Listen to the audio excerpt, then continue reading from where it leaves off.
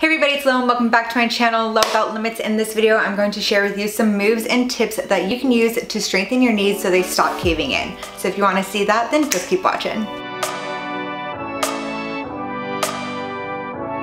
That was one of the first intros that I've done in a very long time where it actually just took me one take and I was like, yes, I'm, I'm happy with that. I nailed it. But anyway, this video is all about strengthening your knees and some tips and some moves that you can incorporate into your warm-ups or just into some daily mobility routines. That way you can have stronger knees, better squats and do every single leg exercise with proper form and not risking injury. So if you've ever squatted and you're on your way down or you're coming back up and your knees have gone from going over your second and third toe into caving in a little bit, that is what I learned in my personal training certification is called knee valgus and it's because your hip adductors that part of your inner thigh that a lot of people like to work and squeeze their legs on that little machine that you don't really need to do. Those are taking over because there's something that's weaker in that part of your kinetic chain. And now I too am guilty of wiggly knees in the past, especially if I'm putting a little bit too much weight on the bar that my body just wasn't ready for.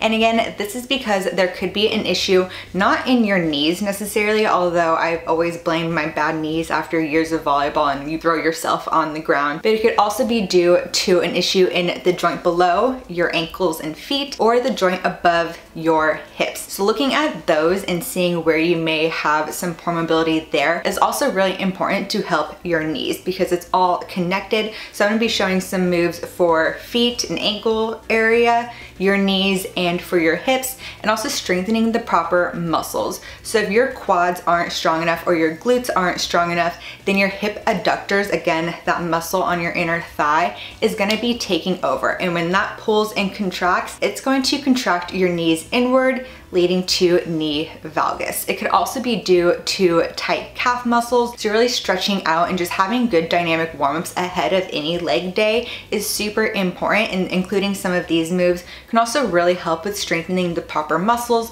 waking up the proper muscles, working those abductors, that part on your outer thigh, as well as your glute med in order to pull that knee back and contract that part of your leg so that way your knees are pointing a bit more outwards or a bit more straight over that second and third toe. Thankfully, this is something that's super easy to notice if you just feel it happening on yourself or if you're looking in a mirror, you see it or you film yourself and you're like, ooh, didn't realize that my knees came in a little bit. But it's also something that's really easy to adjust and to practice and strengthen the correct movements. That way moving forward, you can do the moves better, you can do them with better form, you can strengthen the correct muscles instead of the muscles that are already overcompensating. So I'm going to stand up and show you some moves for again, your ankles and your foot area, your knees and your hips. So starting from the bottom, your feet are your base. You are pushing through your feet in order to do a squat. And again, this does apply to other leg movements, like it's super important to have good stable feet when you're doing any deadlift,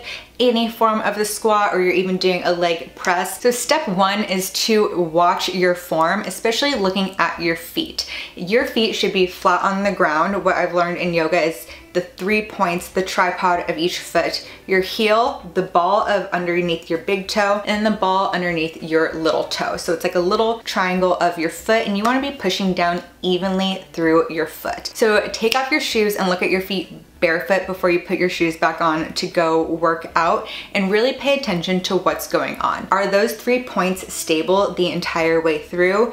Is your foot kind of rolling in a little bit because in doing so that will contract a part of your calf and pull your knee inwards. Or on the way up, are you trying to push out too much, which is a different issue, but makes your knees point out more and then you're rolling off to the side of the foot and you don't have any of the weight on the ball of the foot. So while it's really important to think about your heels to drive up and drive through that movement, having a good mind muscle connection to your entire foot is the real key here. And it's really important and it's something that I've actually practiced a lot in yoga and just having that mind muscle connection to each part of your foot. So if you haven't tried yoga before, I seriously recommend it to everyone, even if you're like, but I just like lifting weights and strength training and heavy weights. Same, but yoga is honestly been such a game changer. And I'm actually gonna show you some exercises that I learned in physical therapy a few years back when I strained a ligament on my inner ankle on the left side. Doing all these physical therapy moves actually strengthened my feet and in turn helped me out once I did get to go back into the gym. And again, for this in particular and for strengthening your foot doing these moves,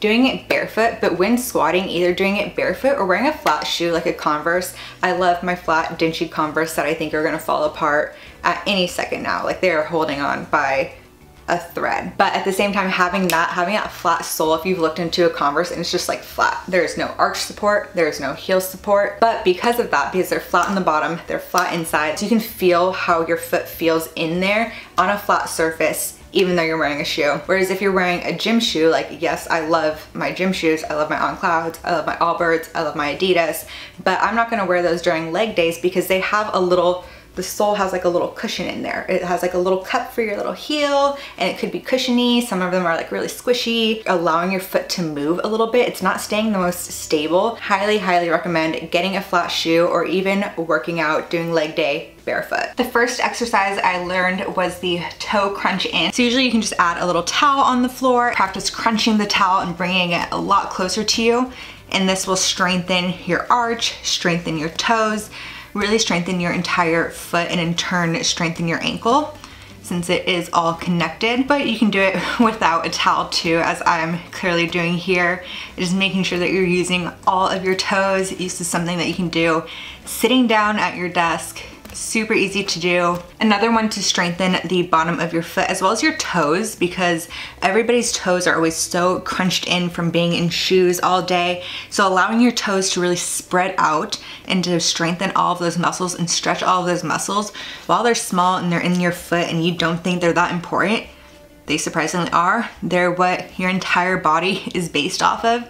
So by really strengthening those out, push down in your big toe and lift up your others, and using that mind muscle connection, becoming more aware of your foot and pushing down your little toes, lifting up your big. So it's surprisingly a bit challenging, but just having that strength and really focusing on your toes and connecting to your feet is super important just for good walking and of course good squats and strengthening your ankles. Something else to do is simply balancing. So having that connection with your heel, your big toe mound and your little toe mound and just balancing, keeping your body stacked up and really feeling all those muscles work. Of course, when you're squatting, you're squatting with both feet, so you don't have to have that balancing, but it's super important, especially if you wanna do a pistol squat, which I'm still working on, or any single leg deadlift, having good balance and stability in your foot, which is another reason, like you'll notice that all of those little muscles in there are contracting in order to keep my foot stable which is how it often feels if you're wearing just a regular workout shoe. So again, that is why flat shoes or barefoot is super important for leg days. So just balancing, keeping your body aligned upright over that leg. And if you really want to challenge your balancing, stretching your other leg out to the side while keeping this ankle, knee, and hip aligned with the balancing leg. Just a heads up, this is my less balanced size, my left side. And then from there, having your ankle stacked on top, your knee, again, you're not gonna rehearse this with your knee caving in already because that's just going to strengthen this, which we don't want. And then your hip on top, and then making it a challenge by expanding that leg out, forward. Can't really go to the back because of the door. If you've ever gone to physical therapy for any part of your foot or ankle, they'll have, they'll give you like a light medicine ball and say balance and reach. So you feel those muscles, you're working those muscles, having those little contractions in there. You even feel it throughout your entire leg, like a little leg workout. Trying to stay as stable as you can and doing that will also strengthen your hips, strengthen that glute med as you're doing that and as you're focusing on your knees not caving in keeping them in line. It is working your abductors, it's working your glute med, and that helps with your knee valgus overall. Now getting up to the knees, so you can strengthen the muscles around the knees that will help them from caving in by doing just some light workouts, adding some bands to some warm-up workouts, using this as a warm-up before your leg day to help prime all of those moves and just kind of wake up and get those muscles ready. And just not on a leg day, on a chill day, maybe at the end of yoga, or if you have a bit of time, like five to 10 minutes every day in order to strengthen your glute med, that side booty, that little muscle there that will really help pull and contract your hip abductors, which this will also strengthen a lot and will also just help strengthen your quads and your hamstrings too. And that way your hip adductors aren't gonna be the ones taking over. So using these moves as a warm up is really, really good to say, okay, glute med, okay, hip abductors, let's wake up because we're about to squat and I need you to be aware and I need to have that mind muscle connection by doing these lighter banded moves in order to do the move properly without my knees caving in. For the knee strengthening exercises, having just a little band like this will really help. So the first one is just some seated abductions. So this, just sit on the edge of your couch, on a chair, anything, just getting upright and allowing your knees to come out. You can go higher reps since you're just using a band for this. And for it, you're going to be strengthening all over here. You can go slow, really feel that contraction. What you're trying to work is you're squeezing your glute med and your hip abductors, this part of your thigh. And it's another super easy one that you can just do sitting down, watching TV, throw a band on, few times a day to really strengthen that and it's also a really good one to warm up at the gym with. And of course the classic one to help work out your abductors, just some crab walks, another really good one to warm up with before some squats. I like doing this with a hip circle at the gym just to give uh, even more resistance because hip circles are just so much stronger than these ones but whatever you can do whatever you can tolerate and again this is just to warm up you're not really breaking a sweat but doing this is turning on your glute med, getting your just your whole glute, your glute max warmed up and fired as well. That way you can get into the squat and it knows that it's going to be doing some work. And if you're working out at home and you want to challenge your body weight squats or you just want to warm up with some body weight squats before you start using the barbell at the gym, doing some squats and adding on that resistance band again, just to again, tell your brain, hey, we're gonna do some squats, Let's start to wake these muscles up. Telling your knees, we have to push out against this, even though this is also making us wanna just go in and make it easy. We have to really push out against it, use that added resistance to train those muscles to turn on, train them to fire.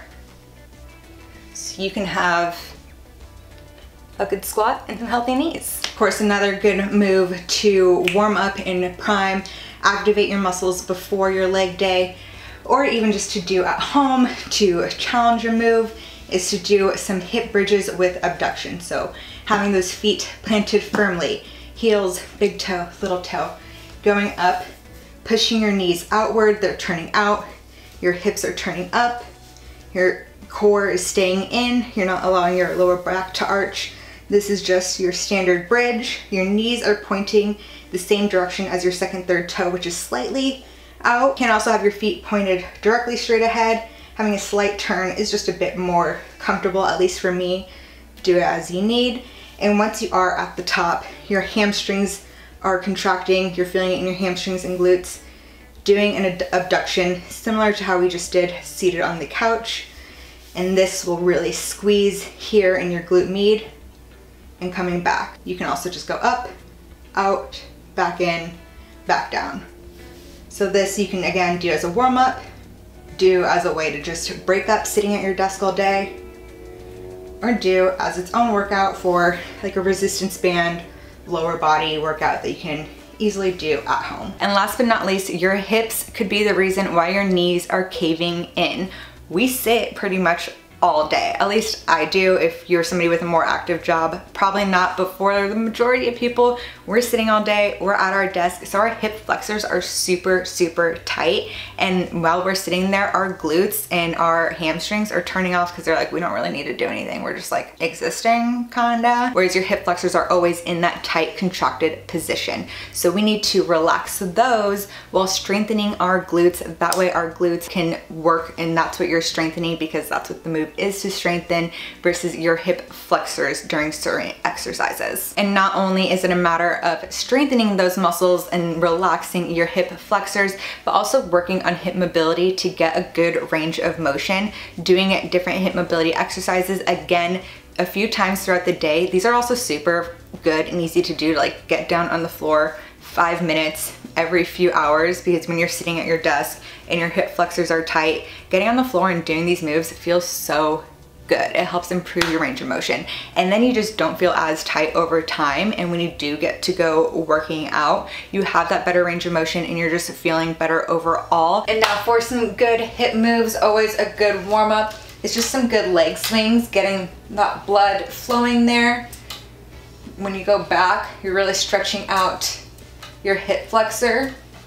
Just a really good warm up something you can do all the time. Love doing this at the start of every workout, even before all of the other moves for mobility or for stretching or strengthening anything side to side.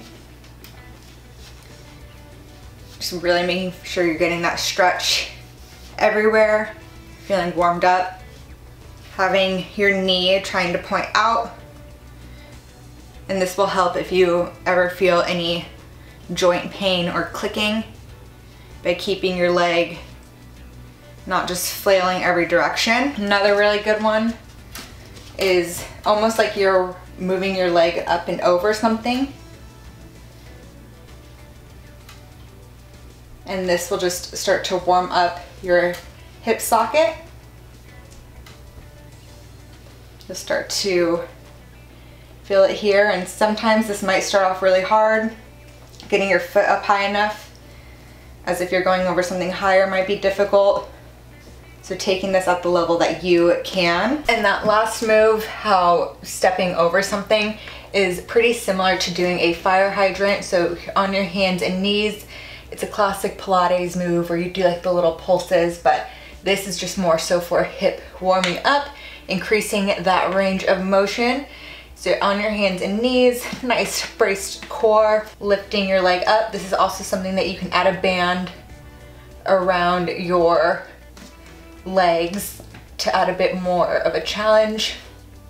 But just doing this to get that hip warmed up I'm sitting down all day and you want to get a good stretch that way your hips are always mobile and they're feeling better even when you're not working out. And the next hip exercise that you can do for mobility is the 90-90. So this, just getting into the position could be hard if your hips are super tight, you don't have a great range of motion. So step one is just to get in the 90-90 position. And that is where you are sitting as upright as you can. One leg will be coming out directly to your side. Knee is turning out at a 90 degree angle and then you also have a leg coming straight out. So this is a 90 degree angle. And then this up here is a 90 degree angle. We'll give you a little bit of a stretch here. Stretch out that hip flexor. And once you are in this position, you can challenge it by drawing your butt towards the ground, but leaning forward as much as you can. Stretching your glute a bit. Lean inside and lean like a little turn and lean. So in it, making sure that you can sit down. If you're coming up, then just working on this stretch until you can get all the way down. If you can't get your hips to open up this way, just working on this stretch until you can get into this position. So again, at 90 degrees, and then each leg is at 90 degrees. If this is challenging, make this goal one. If not, if you feel good in it, you can get down, you can do additional little stretching. Getting your lower back, your glutes off to the side a little bit. And then once you can get into this position on both sides, one thing that I love to do as another good warm up on leg days is to be in 99 position on one side and switch myself over to the other. So this is just testing that range of motion. I'm keeping my feet in pretty much the same spot. There's gonna be some movement, but doing this, and then once I'm up, you can even come up on your knees a little bit as a good dynamic warm up for your hips, for this joint, for these muscles to get you prepped and ready to go on your leg day. And for all of these moves, whether it's one for your feet and ankles, for your knees, or for your hips, really seeing like where you feel weakest, where you've noticed any pain or any tightness and focusing on those ones the most, but incorporating all of them either as a warm up before you go into your leg day. That way you can wake up and activate those muscles that you do want to work. And just again, throughout the day, as much as you need if you do feel weaker or stiffer in certain spots, but even just for five, 10 minutes a day, once a day, every few days when you have time. If you do already feel good in those spots, but just want to make sure that they're feeling good, that they're feeling mobile, and that they're feeling strengthened. So how often you do it is really up to you and how severe your knee valgus may be. But by keeping it up and by strengthening these moves, then it will just help you overall in the long run, even if you feel like you're already fantastic at it. And again, I will mention yoga because it just has been so helpful in doing all of these moves and doing some single leg moves and you're feeling your foot really grip the ground through those three points. So by either holding the pose or doing a yoga flow and that really helps with mobility and with your hips, incorporating yoga if you are somebody who loves to strength train, I think is super important and just try it out and I think you will absolutely love it. But my last tip, which you might not like to hear as much, especially if you do still want to squat while you are working on strengthening and getting rid of your knees from caving in, is to go lighter on the weight. Like I mentioned at the start, it's something that I've noticed in myself if I think I can put on more weight because I feel good, and then on my way back up, I'm like, ooh, I noticed my knees caved in a little bit, that they couldn't really handle it and my hip adductors had to take over and that's when I realized like even if I think I can do it clearly my body is not prepared for that. So by going lighter in the weight, even if you don't want to, and really focusing on the move properly, focusing on the right muscles, focusing on the right form, the good range of motion, and just feeling really good throughout the entire move is key. And then once you have that strengthened, you're feeling good and you are feeling mobile, you're doing all of these different moves, then you can slowly start to reintroduce the weight. That way you get back up to that weight that you were doing, but you're doing it with good form. You're not risking injury and your hips, knees, knees, ankles, feet, well, thank you. Well, there you have it. Those are my tips on how to stop your knees from caving in. So if you like this video, be sure to give a thumbs up, comment down below what tips you have and what else you wanna see here on my channel. And while you're there, be sure to subscribe. I upload a new video every Wednesday. So until the next one, thanks for watching.